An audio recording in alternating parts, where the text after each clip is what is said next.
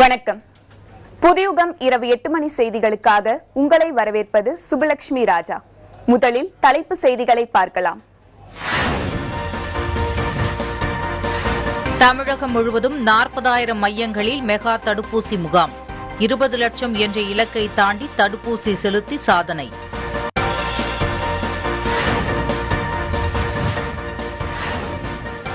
மருத்துவ படிப்புகளில் சேர நாடு முழுவதும் நடைபெற்ற நீட் தேர்வு நிறைவு. வினாத்தாள் எளிமையாக இருந்ததாக மாணவர்கள் கருத்து.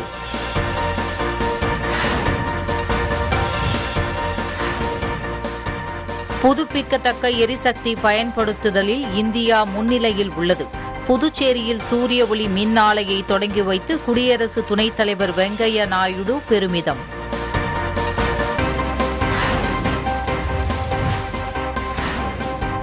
தருமபுரியில் தொடர் மழையால் பச்சை மிளகாய் விளைச்சல் அதிகரிப்பு.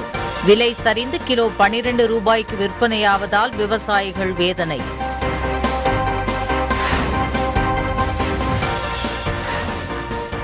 தமிழகத்தில் அடுத்த ஐந்து நாட்களுக்கு இடியுடன் கூடிய மழை பெய்யும்.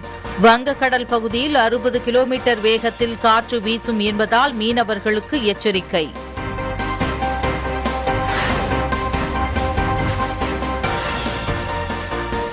மன்னார் வளைகுடாவில் கடந்த இருபத்து நான்கு மணி நேரமாக வீசி வரும் பலத்த சூறைக்காற்று. மீன்பிடிக்க கடலுக்குள் செல்ல முடியாததால் படகுகள் கரைகளில் நங்கூரமிட்டு நிறுத்தம்.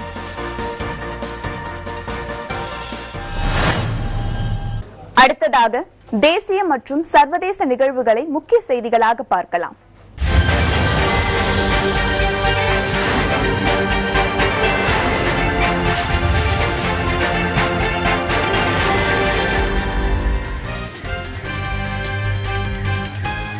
குஜராத் மாநிலத்தின் புதிய முதலமைச்சராக பூபேந்திர பட்டேல் தேர்வு செய்யப்பட்டுள்ளார்.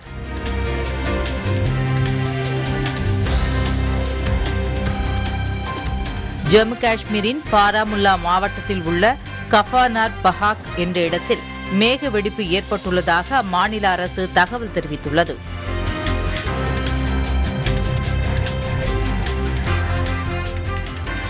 ஆம் ஆத்மி கட்சியின் தேசிய ஒருங்கிணைப்பாளராக டெல்லி முதல்வர் அரவிந்த் கெஜ்ரிவால் மீண்டும் தேர்வு செய்யப்பட்டுள்ளார்.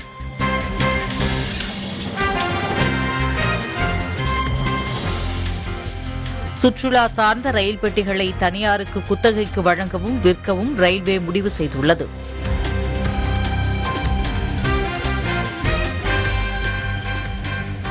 முந்தைய ஆட்சியில் தங்களுக்கு சிறை தண்டனை வழங்கியதற்காக சித்திரவதை செய்து பழி தீர்க்க சுமார் இருநூறு பெண் நீதிபதிகளை தலிபான்கள் தேடி அலைவதாக தகவல் வெளியாகியுள்ளது.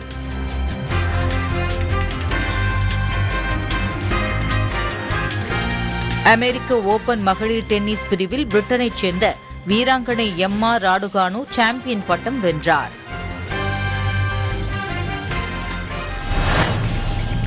இனி விரிவான செய்திகள் தொடர்கின்றன.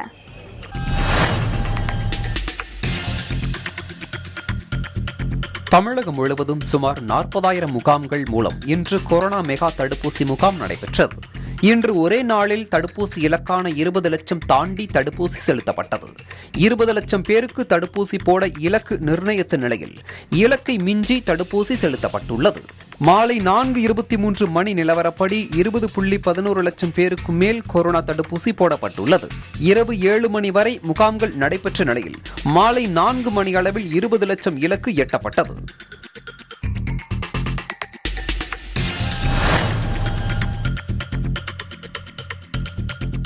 இளநிலை மருத்துவ படிப்புகளுக்கான நீட் நுழைவுத் தேர்வு நாடு முழுவதும் நடைபெற்றது. இதில் அகில இந்திய அளவில் பதினாறு லட்சத்திற்கும் அதிகமான மாணவர்கள் தேர்வு எழுதினர். தமிழகத்தில் எழுபதாயிரம் மாணவிகள் நாற்பதாயிரம் மாணவர்கள் என மொத்தம் ஒரு லட்சத்து பத்தாயிரம் மாணவர்கள் தேர்வு எழுதினர். முதல் முறையாக தமிழ் மலையாளம் பஞ்சாபி மொழிகள் சேர்க்கப்பட்டு மொத்தம் பதிமூன்று மொழிகளில் தேர்வு நடைபெற்றது. தமிழகத்தில் பதினெட்டு நகரங்களில் இருநூற்றி இருபத்தி நான்கு மையங்களில் தேர்வு நடைபெற்றது.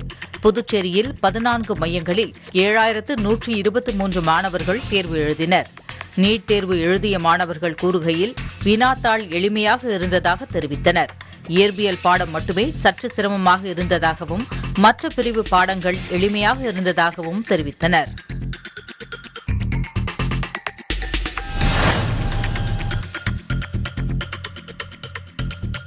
பல்வேறு அரசு நிகழ்ச்சிகளில் பங்கேற்க இரண்டு நாள் பயணமாக குடியரசு துணைத் தலைவர் வெங்கையா நாயுடு புதுச்சேரிக்கு வந்தார்.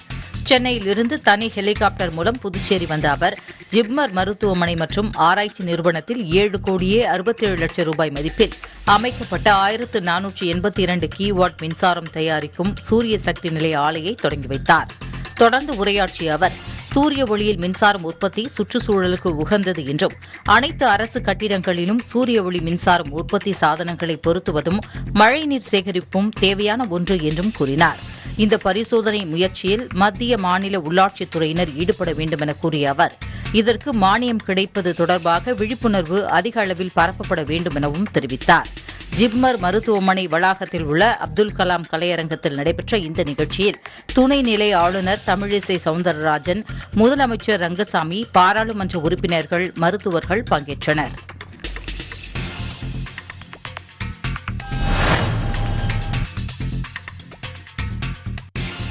தருமபுரி மாவட்டத்தில் பெய்து வரும் தொடர் மழையால் பச்சை மிளகாய் விளைச்சல் அதிகரித்து விலை சரிந்ததால் விவசாயிகள் கவலையடைந்துள்ளனர்.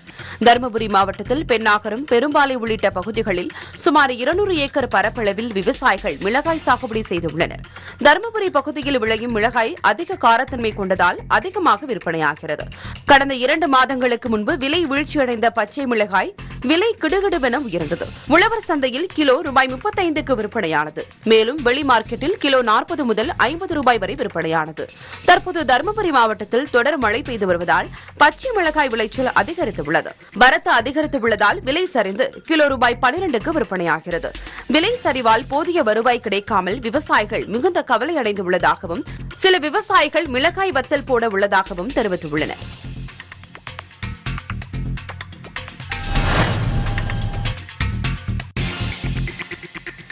தமிழகத்தில் அடுத்த ஐந்து நாட்களுக்கு இடியுடன் கூடிய மழை பெய்யும் என சென்னை வானிலை மையம் அறிவித்துள்ளது. இதுகுறித்து வெளியிடப்பட்ட அறிக்கையில் தென்மேற்கு பருவக்காற்று மற்றும் வெப்பச்சலனம் காரணமாக நீலகிரி கோவை மாவட்டங்களில் ஓரிரு இடங்களில் இடி மின்னலுடன் கூடிய கனமழையும் ஏனைய மேற்கு தொடர்ச்சி மலையை ஒட்டிய தேனி திண்டுக்கல் திருப்பூர் தென்காசி மாவட்டங்கள் சேலம் கிருஷ்ணகிரி தர்மபுரி ஈரோடு வேலூர் ராணிப்பேட்டை திருப்பத்தூர் சென்னை திருவள்ளூர் காஞ்சிபுரம் செங்கல்பட்டு மாவட்டங்களில் ஓரிரு இடங்களில் இடி மின்னலுடன் கூடிய லேசானது முதல் மிதமான மழை பெய்யக்கூடும். சென்னையை பொறுத்தவரை அடுத்த நாற்பத்தெட்டு மணி நேரத்திற்கு பொதுவாக ஓரளவு மேகமூட்டத்துடன் காணப்படும். நகரின் ஒரு சில பகுதிகளில் லேசான மழை பெய்யக்கூடும் எனவும் அதிகபட்ச வெப்பநிலை முப்பத்தைந்து மற்றும் குறைந்தபட்ச வெப்பநிலை இருபத்தாறு டிகிரி செல்சியஸை ஒட்டி இருக்கும் மேலும் இரண்டு நாட்களுக்கு தென்கிழக்கு வங்கக்கடல் மற்றும் அந்தமான் கடல் பகுதிகளில் பலத்த காற்று. நாற்பது முதல் ஐம்பது கிலோமீட்டர் வேகத்திலும் இடையிடையே அறுபது கிலோமீட்டர் வேகத்திலும் வீசக்கூடும் என்பதால் மீனவர்கள் இந்த பகுதிகளுக்கு செல்ல வேண்டாம் எனவும் வானிலை மையம் தெரிவித்துள்ளது.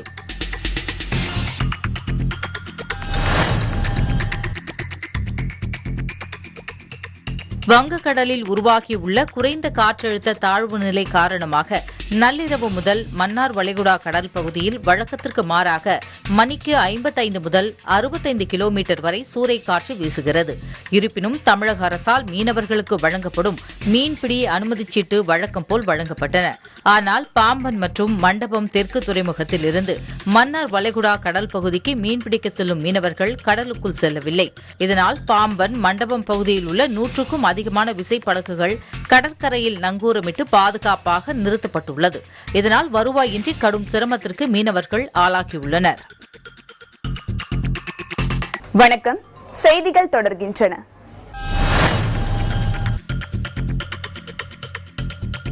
தூத்துக்குடியில் நடைபெற்ற விழாவில் பங்கேற்ற மத்திய நிதி அமைச்சர் நிர்மலா சீதாராமன் தொடர்ந்து எட்டயபுரம் சென்று மகாகவி பாரதியார் வாழ்ந்த வீட்டில் அமைந்துள்ள பாரதியாரின் உருவ சிலைக்கு மரியாதை செலுத்தினார். மத்திய இணையமைச்சர் முருகனும் பாரதியார் சிலைக்கு மரியாதை செய்தார். தொடர்ந்து அங்கு பாரதியார் பயன்படுத்திய பொருட்கள் பாரதியார் தனது கையால் எழுதிய பத்திரிகை பிரதி ஆகியவற்றை பார்வையிட்டனர். பின்னர் பாரதியாரின் மின் நூல்களையும் வெளியிட்டார். இதையடுத்து நிர்மலா சீதாராமன் கூறுகையில் பாரதியார் கவிதை படித்தால் உணர்ச்சி பூர்வமாக இருக்கும். அவரது கவிதைகளை குழந்தைகள் படிக்கும் வகையில் நடவடிக்கை எடுக்க வேண்டும் எனவும் பள்ளி பாடங்களில் பாரதியார் கவிதைகள் சேர்க்கப்பட வேண்டும். அவரது கவிதை நாட்டுப்பற்றை ஏற்படுத்தும் என தெரிவித்தார். முன்னதாக தூத்துக்குடியில் நடந்த வங்கி ஒன்றின் நூற்றாண்டு விழாவில் பங்கேற்று மொபைல் ஏடிஎம் சேவை மற்றும் கொரோனா விழிப்புணர்வு நிகழ்ச்சியை தொடங்கி வைத்த பின்னர் வங்கி சேவையில் சிறிய பிரச்சினை என்றாலும் அனைவரும் பாதிக்கப்படுவார்கள் எனவும் வங்கி சேவை அனைவருக்கும் கிடைக்க வேண்டும் என்பதற்காகவே ஜன்தன் வங்கிக் கணக்கு திட்டத்தை பிரதமர் தொடங்கி வைத்தார் எனவும் மத்திய அமைச்சர் நிர்மலா சீதாராமன் தெரிவித்தார்.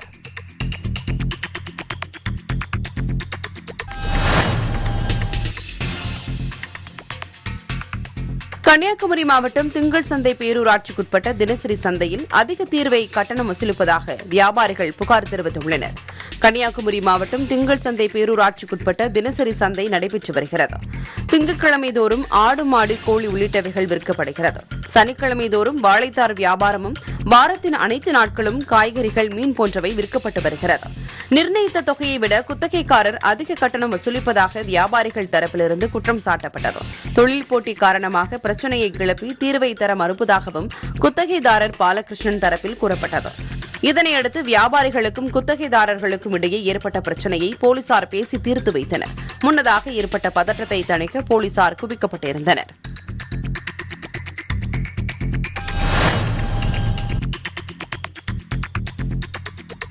சீசன் முடிந்த நிலையில் கூட ராமநாதபுரம் அடுத்த தேர்த்தங்கள் பறவைகள் சரணாலயத்தில் கூளைக்கடா பறவைகள் தங்கி வருகின்றன. ராமநாதபுரத்தில் இருந்து நயினார்கோவில் செல்லும் சாலையில் உள்ளது தேர்த்தங்கள் பறவைகள் சரணாலயம். சரணாலயத்திற்கு மஞ்சள் மூக்கு நாரை சாம்பல் நிற நாரை கூளைக்கிடா வெள்ளை அரிவாள் மூக்கன் கருப்பு அரிவாள் மூக்கன் கரண்டி வாயன் உள்ளிட்ட ஏராளமான பறவைகள் வலசைக்கு வருவது வழக்கமான நிலையில் கடந்த ஆண்டு அக்டோபர் மாதம் ஏராளமான பறவைகள் சரணாலயத்திற்கு வந்தன. இந்நிலையில் வழக்கமாக மார்ச் அல்லது ஏப்ரல் மாதம் திரும்பி செல்லும் இந்த பறவைகள் இந்த ஆண்டு கடந்த ஜூன் மாதம் வரையிலும் சரணாலயத்தை விட்டு திரும்பிச் செல்லாமல் அங்கேயே தங்கி வருகின்றன. மேலும் அங்குள்ள மரங்களில் கூடுகட்டி நீர்நிலைகளில் நீந்தியபடி மீன்களை சாப்பிட்டு வருகின்றன.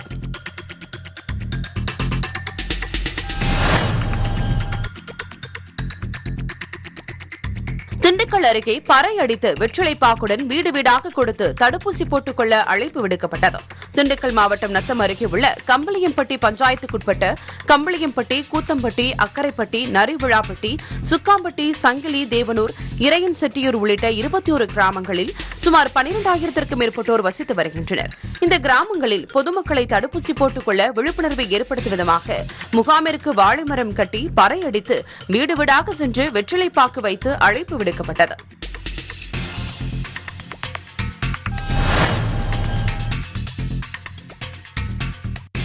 புதுச்சேரிக்கு இரண்டு நாள் சுற்றுப்பயணமாக வந்தடைந்த துணை ஜனாதிபதி வெங்கையா நாயுடு பாரதியாரின் நூற்றாண்டு நினைவு நாளை ஒட்டி ஈஸ்வரன் கோவில் தெருவில் உள்ள பாரதியார் வாழ்ந்த வீட்டிற்கு சென்றார். அங்கு துணை ஜனாதிபதி வெங்கையா நாயுடு பாரதியாரின் புகைப்படத்திற்கு மலர் தூவி மரியாதை செய்து அங்கு அமைக்கப்பட்டிருந்த பாரதியாரின் அருங்காட்சியகத்தை பார்வையிட்டார். அவருடன் துணைநிலை ஆளுநர் தமிழிசை சவுந்தரராஜன் முதலமைச்சர் ரங்கசாமி ஆகியோர் உடனிருந்தனர்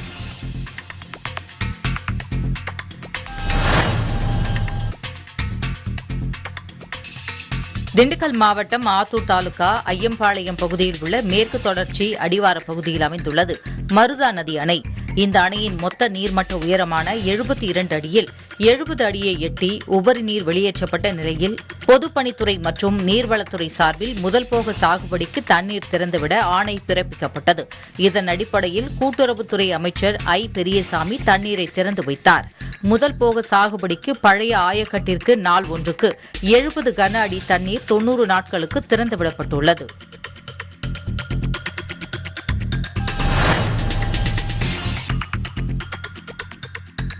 தேசிய சட்டப்பணிகள் மற்றும் ஆலோசனைக் குழு உத்தரவின் பேரில் தமிழகம் முழுவதும் தேசிய லோக் அதாலத் நடைபெற்றது. இதன் ஒரு பகுதியாக விழுப்புரம் மாவட்டம் செஞ்சி ஒருங்கிணைந்த நீதிமன்றத்தில் லோக் அதாலத் மூலம் நீதிமன்றங்களில் நிலுவையில் உள்ள வழக்குகள் மற்றும் நீதிமன்ற விசாரணைக்கு வராத வழக்குகள் என நூற்று நாற்பத்தி நான்கு வழக்குகளுக்கு ஒரு கோடியே அறுபத்தி மூன்று லட்சத்து முப்பதாயிரத்து தொள்ளாயிரத்து எட்டு ரூபாய் மதிப்பில் தீர்வு காணப்பட்டன. இதில் நிலுவையில் இருந்த ஏராளமான வழக்குகள் தீர்வு காணப்பட்டு உடனடியாக அவர்களுக்கு காசோலைகளும் வழங்கப்பட்டன.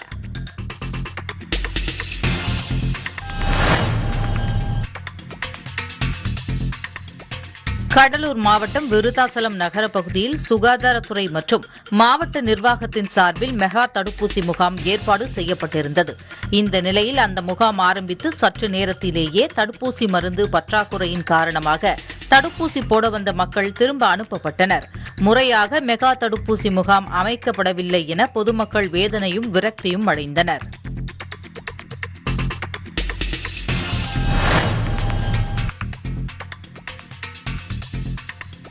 நாடு முழுவதும் இன்று இளநிலை மருத்துவர் மற்றும் பிடிஎஸ் படிப்பிற்கான நீட் நுழைவுத் தேர்வு நடைபெற்றது. மதுரை மாவட்டத்தில் இருபது மையங்களில் பத்தாயிரத்திற்கும் மேற்பட்டோர் தேர்வு எழுதினர்.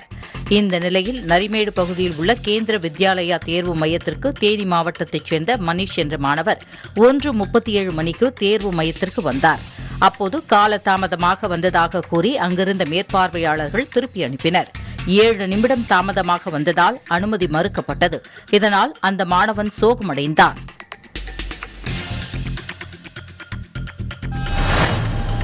வணக்கம். செய்திகள் தொடர்கின்றன. கடந்த இரண்டாயிரத்தி பதினேழாம் ஆண்டு முதல் தமிழ்நாடு மாநில ஆளுநராக பன்வாரிலால் புரோஹித் பொறுப்பு வகித்து வருகிறார். தற்போது தமிழகத்திற்கு புதிய ஆளுநராக ஆர் என் ரவி நியமிக்கப்பட்டுள்ளதால் பன்வாரிலால் புரோஹித் ஆளுநராக பஞ்சாப் செல்கிறார். இதைத் தொடர்ந்து காஞ்சிபுரம் ஓரிக்கை பகுதியில் உள்ள மகா பெரியவர் மணி மண்டபத்தில் சங்கர மடத்தின் பீடாதிபதி விஜயேந்திரரை பன்வாரிலால் புரோஹித் சந்தித்து ஆசி பெற்றார்.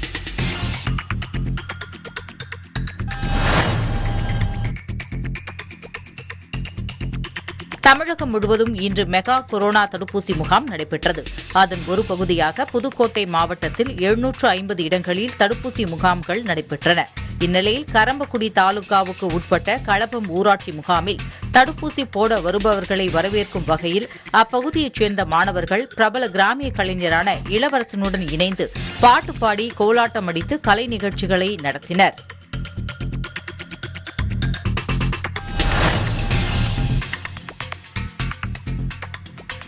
வேலூர் மாவட்டம் காட்பாடியை அடுத்து அமைந்துள்ளது அம்முண்டி கிராம ஊராட்சி. நடைபெறவுள்ள உள்ளாட்சி தேர்தலில் இவ்வூராட்சியினை பெண்களுக்கான தனி ஊராட்சியாக அறிவித்ததை எதிர்த்து கிராம மக்கள் தர்ணா போராட்டத்தில் ஈடுபட்டனர். மேலும் இந்த அறிவிப்பை அரசு திரும்ப பெறாவிட்டால் தங்கள் அரசாங்க அடையாள அட்டைகளை அரசாங்கத்திடம் ஒப்படைத்து விடுவதாகவும் தெரிவித்துள்ளனர். சம்பவ இடத்திற்கு வந்த திருவலம் காவல்துறையினர் பேச்சுவார்த்தை நடத்தியதை அடுத்து தர்ணா போராட்டம் கைவிடப்பட்டது. அம்முண்டி ஊராட்சியில் ஒரு ஆண் இரண்டு பெண் என மூன்று பேர் மட்டுமே பட்டியல் இனத்தைச் சேர்ந்தவர்கள் உள்ளனர் என்பது குறிப்பிடத்தக்கது.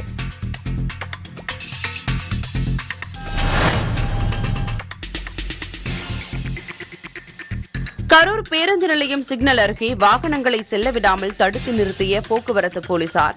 சாலையில் கார்பெட் விரித்து தலைக்கவசம் அணிவதன் அவசியம் குறித்து வலியுறுத்த இரண்டு நபர்கள் தலைக்கவசம் அணியாமல் வண்டி ஓட்டி விபத்தில் உயிரிழப்பது போல நடித்து காண்பிக்கப்பட்டது. பரபரப்பான பொழுதில் வாகனங்களை நிறுத்தி வைத்து சுமார் பத்து நிமிடத்துக்கு மேலாக நடத்தப்பட்ட இந்த நிகழ்ச்சியால் வாகன ஓட்டிகளும் வேறு வழியில்லாமல் முகம் சுளித்தவாறே வாகனங்களில் காத்திருந்து கண்டு சென்றனர்.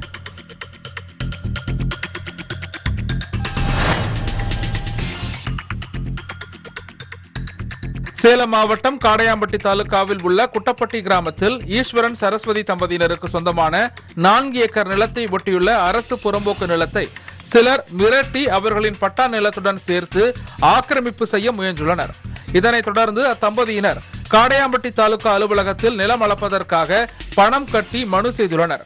ஆனால் அங்கு வந்த கிராம நிர்வாக அதிகாரிகள் மற்றும் நில அளவை அதிகாரிகள் அத்தம்பதியினரிடம் பணம் கேட்டதாக தெரிகிறது. இதன் மீது நடவடிக்கை எடுக்க கோரி காடையாம்பட்டி வட்டாட்சியர் மேட்டூர் சார் ஆட்சியரிடம் புகார் மனு கொடுத்தும் நடவடிக்கை எடுக்கவில்லை. இந்த நிலையில் அதிகாரிகளின் தூண்டுதலை தொடர்ந்து அதே பகுதியைச் சேர்ந்த சிலர் மூத்த தம்பதியை மிரட்டி அங்குள்ள அரசு புறம்போக்கு நிலத்தை ஆக்கிரமித்து கட்டுமான பணிகளை செய்து வருகின்றனர். இதனால் உயிருக்கு பயந்து போன மூத்த தம்பதியினர் தீவட்டிப்பட்டி காவல் நிலையத்தில் புகார் அளித்துள்ளனர்.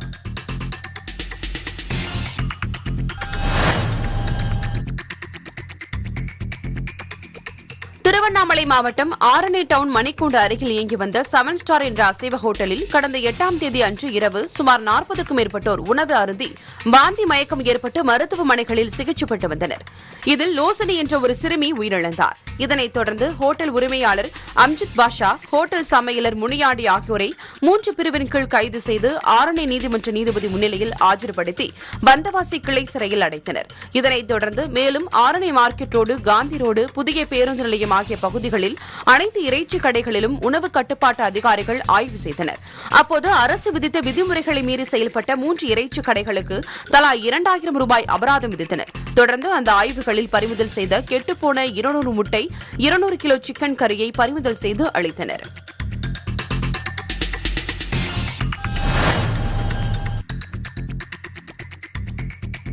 ஈரோடு மாவட்டம் சத்தியமங்கலம் அடுத்துள்ள பவானிசாகர் ஓஎம் குடியிருப்பில் வசித்து வருபவர் அர்ச்சகர் ராமசுப்பிரமணியம் இவர் கோவில் பணிக்காக வெளியே சென்றிருந்த போது வீடு புகுந்த திருடர்கள் அங்கிருந்த பீரோவில் உள்ள நான்கு பவுன் தங்க நகை மற்றும் எண்பதாயிரம் பணத்தை கொள்ளையடித்து சென்றனர்.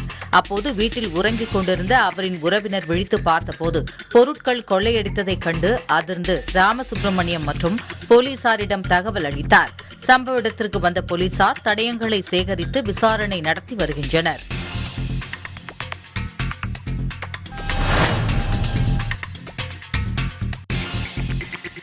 சென்னை அருகே கீழ்கட்டளை பகுதியில் யோகாதாஸ் என்பவர் தனது நண்பர்களுடன் பேசிக் கொண்டிருந்த போது அங்கு வந்த மூன்று நபர்கள் கத்தியை காட்டி மிரட்டி மூன்று செல்போன்களை பறித்துக் கொண்டு தப்பிச் சென்றனர்.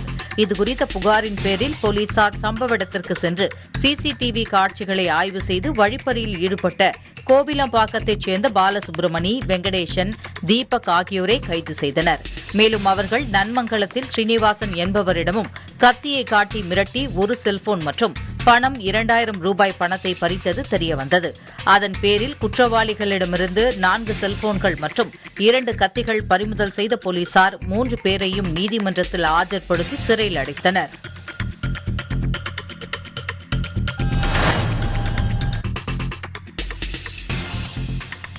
சேலம் மாவட்டம் தாரமங்கலம் அருகே உள்ள புதூர் காடம்பட்டியைச் சேர்ந்த தொழிலாளி வெங்கடேசன் மனநலம் பாதிக்கப்பட்ட இவரது தாய் செல்வி தனியாக எல்லாயூர் பகுதிக்கு சென்றுள்ளார் அப்போது செல்வியை அப்பகுதியைச் சேர்ந்த நான்கு பேர் கட்டி வைத்து தாக்கியுள்ளனர். இதுகுறித்து வெங்கடேசன் தனது தாயை தாக்கிய நபர்களிடம் கேட்டபோது அவரையும் தாக்கியுள்ளனர். காயமடைந்த இருவரும் ஓமலூர் அரசு மருத்துவமனையில் சிகிச்சை பெற்று வருகின்றனர். புகாரின் பேரில் போலீசார் நான்கு பேரை கைது செய்து விசாரித்ததில் ஆடு திருட வந்த பெண் என கருதி தாக்கியதாக தெரிவித்துள்ளனர்.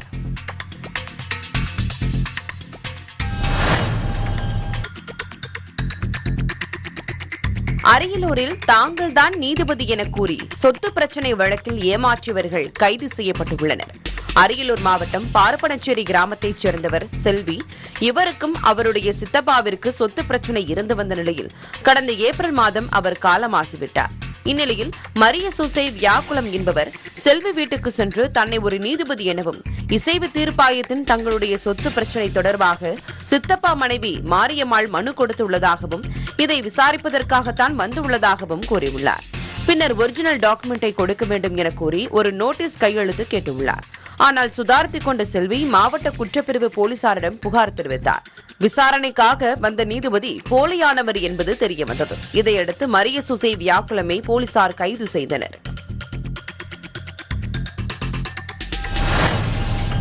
வணக்கம். செய்திகள் தொடர்கின்றன.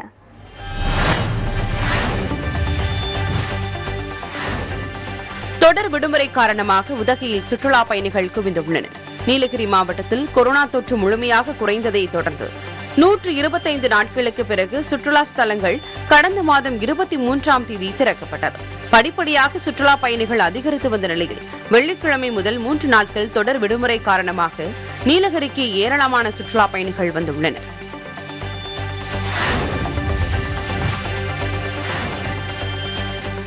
கடலூர் மாவட்டம் முழுவதும் இன்று தொள்ளாயிரத்து ஒன்பது இடங்களில் தடுப்பூசி முகாம் நடத்தப்பட்டது.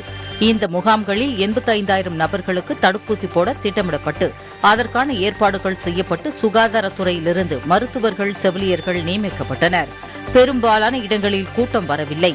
இந்நிலையில் பாதிரிக்குப்பம் ஊராட்சியில் நடத்தப்பட்ட தடுப்பூசி முகாமிற்கு ஊசி போட யாரும் வராததால் ஊசி போட்டால் இருநூறு ரூபாய் என ஊராட்சி சார்பாக அறிவிக்கப்பட்டது. இதனையடுத்து அப்பகுதியைச் சேர்ந்தவர்கள் கூட்டம் கூட்டமாக வரத் தொடங்கினர். ஊசி போட்டவுடன் கையில் அவர்களுக்கு இருநூறு ரூபாய் அளிக்கப்பட்டது.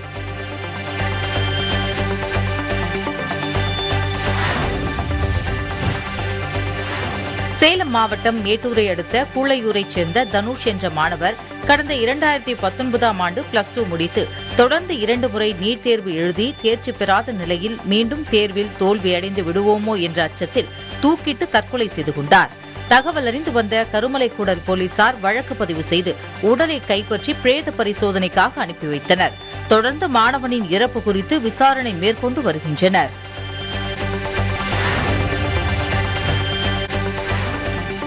அரியலூர் மாவட்டம் கீழப்பழுவூர் அருகே உள்ள ஆலந்துறையார் கட்டளை கிராமத்தில் போலீசார் மருதையாற்றில் சோதனையில் ஈடுபட்டனர். அப்போது அங்கு லாரி மற்றும் காரில் மணல் கடத்தப்படுவது தெரியவந்தது.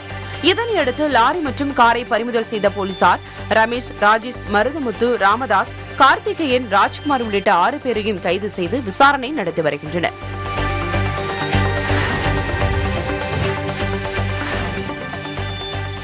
சென்னை தாம்பரம் அடுத்த கடப்பேரி திருநீர்மலை சாலையில் போலீசார் சோதனை மேற்கொண்டனர்.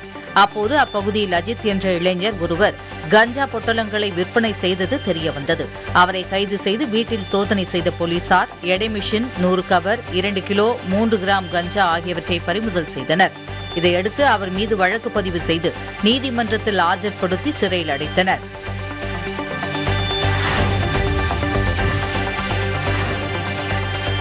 மயிலாடுதுறை அரசு பெரியார் மருத்துவமனையில் மருத்துவம் மற்றும் ஊரக நலப்பணிகள் துறை இயக்குநர் குருநாதன் ஆய்வு மேற்கொண்டார்.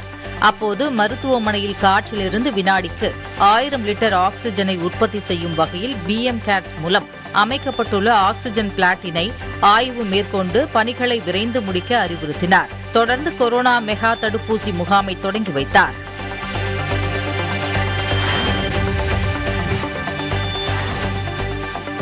திருப்பூர் காங்கேயம் சாலை நல்லூர் முத்தனம்பாளையத்தைச் சேர்ந்தவர் ராமநாதன். இவர் தனது மனைவியோடு கடந்த ஒன்பதாம் தேதி இருசக்கர வாகனத்தில் சென்று கொண்டிருந்தார். கேத்தம்பாளையம் அருகே சென்றபோது அவர்கள் வைத்திருந்த பத்து லட்சத்து ஐம்பதாயிரத்தை இருசக்கர வாகனத்தில் பின்தொடர்ந்து வந்த நபர் ஒருவர் பறித்துச் சென்றார். இது தொடர்பாக போலீசார் விசாரித்து வந்த நிலையில் வழிப்பறி செய்த அருண்குமார் என்பவரை கைது செய்துள்ளனர்.